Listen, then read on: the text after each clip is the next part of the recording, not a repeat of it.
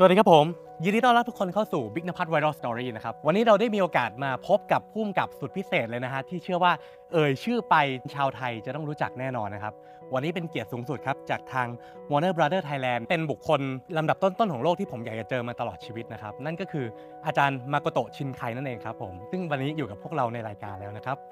ก็สวัสดีครับคนนิชิวะอาจารย์มาโกโตะก็ต้องบอกก่อนว่าเป็นแฟนคลับอาจารย์มานานมาก แล้วก็ตอน Your Name ผมดูไป 12 ครั้งในโรงภาพยนตร์อ่า Weathering with You ดูไป 8 ครั้งในโรงซูซูเมะผมว่าน่าจะต้องหลายครั้งแน่ そうですね、20回ぐらい見 สัก てほしい20 ทีไหมครับ นี่ ซูซูเมะ ๆ อาจจะต้องเป็นครั้งแรกที่จะถึงเลข คาโนเซอาดิดาโตโมยมัส はい、ぜひ。 2 อยากจะทราบฟีลลิ่งก่อนว่าเมื่อวานนี้อ่าอาจารย์มารอบสื่อแล้วเห็นแฟนคลับล้นหลาม อาจารย์ทราบไหมครับว่า ในเมืองไทยมีคน รักอาจารย์ล้นหลามขนาดนี้ครับ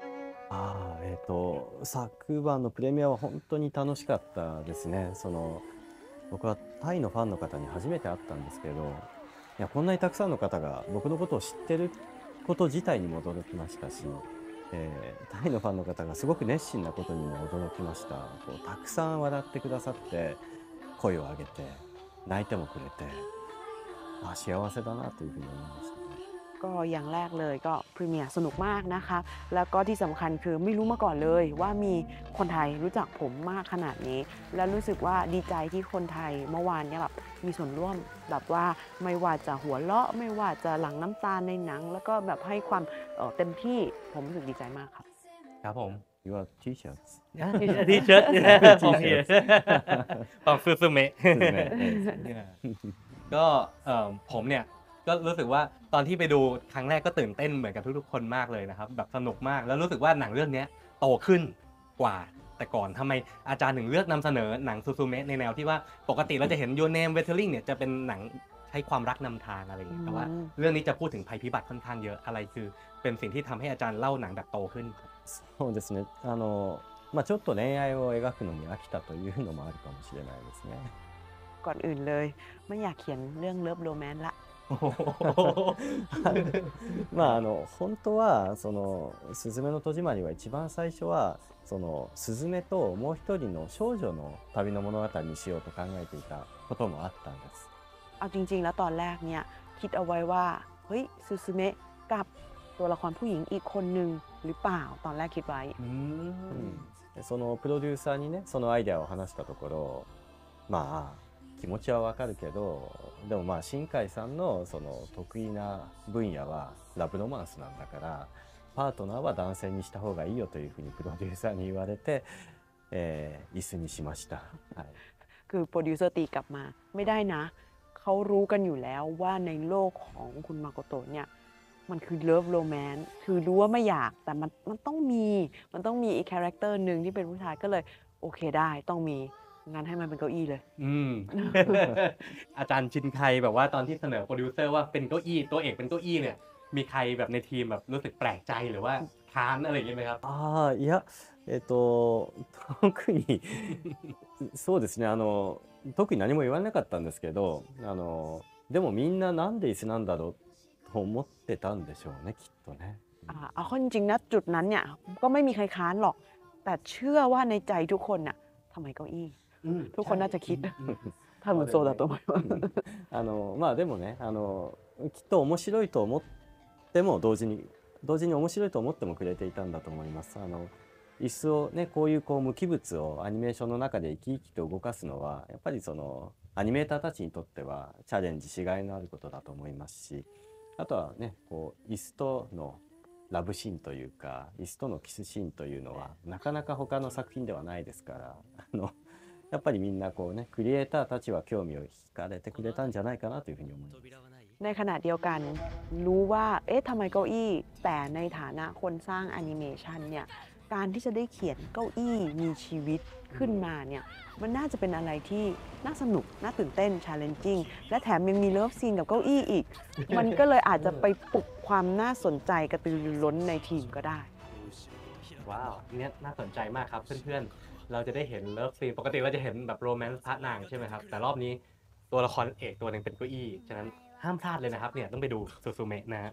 อยากจะทราบว่าอะไรเป็นแรงบันดาลใจให้ อาจารย์มักจะใช้ภัยพิบัติเป็นตัวนำเรื่องทั้งเอ่อ Your Name Battling with You แล้วก็ Suzume ด้วยครับ うんあの毎回そうなんですけど別にこう災害を描きたいと思って映画を作り始めるわけじゃないんですね。あの 今回の「すずめも」まあ、少女が現代の日本を冒険する物語を描きたいというふうに思ったんです。でも現代の日本を舞台にすると、まあ、どうしても災害の方がこうシナリオの中に入ってきてしまうという感覚があります。 คืออย่างแรกเลยนะคะ ความจริงต้นต่อของความคิดอะอยากให้เด็กสาวผชนภัย ไปประเทศญี่ปุ่น ทั่วประเทศญี่ปุ่น แต่พอเราพูดถึงประเทศญี่ปุ่น ในปัจจุบันปุ๊บเนี่ย มันมันยังไงมันก็ต้องมีภัยพิบัติเข้ามาเกี่ยวข้องที่ไหนสักแห่ง あのそれは僕たちの世界がやっぱりこう災害と隣り合わせだからだと思うんですよね。あのタイは日本ほど地震が多くない国だとは思いますけれどもそれでもきっと気候危機による、えーまあ、雨や、えー台風やその気象の災害はありますよね。えーあるいは今回パンデミックをみんなが経験しましたよねコロナ COVID のパンデミックを経験しましたよね、 えーあれもやっぱり災害だし僕たちの日常を変えてしまう出来事だったじゃないですかですから現代を舞台にしようとすると僕はどうしてもなんか災害のことを考えざるを得ないという、ね、感覚があります。 ก็อย่างแรกเลยนะคะ ก็ถ้าพูดถึงเอ่อภัยพิบัติเนี่ยมันไม่ได้ห่างไกลจากตัวเราอย่างที่เราคิด เพราะว่าอย่างประเทศญี่ปุ่นเนี่ยแผ่นดินไหวก็เกิดขึ้นบ่อย ใช่ไหมคะ แต่ว่าประเทศอื่นอ่ะอาจจะไม่มีแผ่นดินไหวเท่าญี่ปุ่น แต่มันเกิดอะไรขึ้นนะอะเอ่อ global warming ทำให้เกิดน้ำท่วมฉับพลัน มีไต้ฝุ่น คือการเปลี่ยนแปลงของสภาพบรรยากาศเอ่อถ้าเอาง่ายๆ คือโควิดนี่ก็ถือว่าเป็นเอ่อภัยพิบัติเหมือนกัน ซึ่งนั่นหมายความว่ามันเป็นสิ่งที่ดึงเอาชีวิตประจำวันของเราไป มันมันมันทำให้ชีวิตเราเปลี่ยนไป เพราะฉะนั้นเนี่ยมันถ้าพูดถึงยุคปัจจุบันสิ่งที่จะสร้างความเปลี่ยนแปลงในชีวิตคนเราเนี่ยมันก็คือภัยพิบัติค่อนข้างแบบ ทัชใจตอนที่อาจารย์บอกว่าเอ่อปี 2011 เนาะที่อาจารย์ได้ อืม เรื่องเนี้ยมาทำแล้วก็เป็นแรงบันดาลใจช่วงตอนที่มันมีภัยพิบัติเยอะ ตอนนั้นตัวเองก็เคยส่งเสื้อเยอะแยะไปช่วยที่ญี่ปุ่นเหมือนกันครับผมรู้สึกว่าเฮ้ยตัวเองมีส่วนร่วมเพราะว่าตอนเด็กๆ เคยได้ทุนไปที่ญี่ปุ่นด้ อื วย ม อ่า ค่ะเด็ก そうですかええあのあそれはすごく嬉しいですありがとうございま ดี した ใจมากนะคะที่อุตส่าห์ช่วยเหลือกัน うん、あのそうですよね、あの事件はあの,、まあ、あの事件というか、まあ、あの災害は 何よりもその福島原発のメントダウンがあったので本当にこう世界中に、ね、大きなインパクトを与えてしまった、えーまあ、災害でしたよね。 เพราะว่าเหตุการณ์นั้นมันไม่ใช่แค่ญี่ปุ่นอย่างเดียวละ มันมีฟุกุชิมะที่เมลดาวอะค่ะ อันนั้นเนี่ยมันไม่ใช่ญี่ปุ่นอย่างเดียวละ มันกระทบไปถึงต่างประเทศด้วย ก็เลยแบบว่ารู้สึกดีใจที่ทั่วโลกยังคงให้ความช่วยเหลือ เพราะว่าเด็กไทยหลายๆ คนเติบโตมากับคอนเทนต์ของญี่ปุ่น วัฒนธรรมญี่ปุ่น แล้วเราก็รักญี่ปุ่นมากๆนะครับ แล้วก็หลายคนเราจะเห็นว่าในเมืองไทยเนี่ยคนรักแอนิเมชันญี่ปุ่นนี่เยอะมาก すごくあのなんかこう美しい友情が僕たちの国の間にはあるんだなというふうに思います。日本にとってもやっぱりこうタイってすごく人気でこうどこか、えー近い国だっていう感覚がありますよね。あのすごくそういう感覚があると思います。あの僕も個人的には タイ料理が大好きで日本にタイ料理屋さんってすごくたくさんあるんですよね。ですのでこう週に1回ぐらいは食べたいなという気持ちになります。 ก็เขารู้สึกได้ว่าประเทศไทยกับญี่ปุ่นเนี่ยมีความสัมพันธ์ที่ดี คอนเทนต์ไทยก็ประเทศไทยก็ได้รับความนิยมนิยมที่ญี่ปุ่นเหมือนกันนะคะ ตัวผู้กำกับเองก็ชอบอาหารไทย อาทิตย์ละครั้งต้องหาร้านอาหารไทยไปแบบไปกินให้ได้อะไรประมาณเนี้ยนะคะ ก็เชื่อว่าแบบว่าเราสองประเทศเนี่ยมันน่าจะมีอะไรที่เชื่อมโยงกันอย่างลึกซึ้ง ต้องถามว่าอาจารย์จินไคชอบทานอาหารไทยเมนูไหน のえっ、とトムヤムクン ต้มยำกุ้ง กุ้งเออ あとあのグリーンカレーがすごい เขียวหวาน อ๋อ ค่ะ แกง เขียวหวานเขียวหวาน green curry ค่ะอ๋ออันนี้เป็นแบบว่า side story มากๆคือใครไม่เคยทราบนะฮะอาจารย์ชินไคก็ทานอาหารแบบพวกเรานะครับแบบหลายคนแบบรู้สึกว่าอาจารย์เหมือนเป็นศาสดาของพวกเขาอะเป็นแรงบันดาลใจสำคัญ แล้วอาจารย์แบบว่ามีเคยคิดไหมครับว่าอยากจะทำหนังเป็นเหมือน live action แบบคนแสดงหรือ หรือยังรู้สึกว่า ยังชอบแอนิเมชันเป็นหลักมากกว่า いやあんまり考えたことがないですねあの時々そういうこう依頼もいただくんです実写を撮りませんかっていう仕事の依頼もあるんですけどもう100%断るようにしています คือเอาจริง ๆ แล้วไม่ไม่ไม่ค่อยคิดว่าอยากจะบางทีทุกวันนี้ก็มีนะคะมีคนแบบว่าเอาโปรเจกต์มานำเสนอ ให้ผู้กำกับแบบว่ากำกับเรื่องนี้ ซึ่งเป็นเป็นมูวี่เป็นคนแสดง แต่ก็ かかってのまた。あの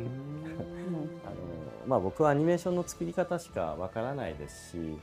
実写ってやっぱりこうたくさんの役者さんとねコミュニケーションしてなんか大変そうじゃないですか。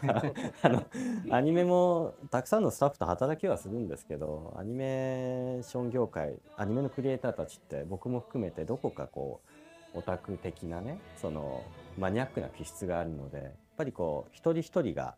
紙とかパソコンに向かって個人作業が多いんですよね。あのそのそれを全部集めたものがアニメーションになるので僕はどちらかといえば実写的な集団作業よりはまあ個人作業の方が多分性格的には向いてるんだろうなと思うので、 อ่า そ อั の น 先もアニ นี้ メーションがいいかなと。 อันนี้ก็ขอบอกเลยว่าเออคือเหตุผลที่ยังรักการทำแอนิเมชันเนี่ยหลักๆก็คือมันอาจจะเป็นเรื่องของการทำงาน นะคะ เพราะว่าถ้าเกิดเราทำงานกับคนแสดงจริงเนี่ยอะมันต้องมีการบทสนทนากับนักแสดงมีคนเกี่ยวข้องในการถ่ายทำเยอะขึ้น แต่ว่าเวลาทำแอนิเมชันเนี่ยแต่ละคนทำงานกับอะไรคะกระดาษแล้วก็จอคอมใช่ไหมคะแล้วก็ค่อยเอาแต่ละสิ่งเนี่ยมารวมกัน แล้วก็จะมาเป็นแอนิเมชันคือมีคนเยอะเหมือนกัน แต่ว่าวิธีทำงานเนี่ยทำงานกับ ตัวงานแล้วค่อยเอามารวมกัน ไม่ใช่ทำงานกับคนเยอะๆ เพราะฉะนั้นเอ่อถ้าเปรียบเทียบง่าย ๆ คือ พวกเราเป็นคนชอบแอนิเมชันก็คือโอตะนั่นเองครับ เป็น introvert เราอยากทำงานแบบนี้มากกว่า อาจจะไม่เหมาะกับการถ่ายทำหนังคนแสดงที่น่าจะเหมาะกับคนที่เป็น extrovert มากกว่าอะไรอย่างเงี้ยอืม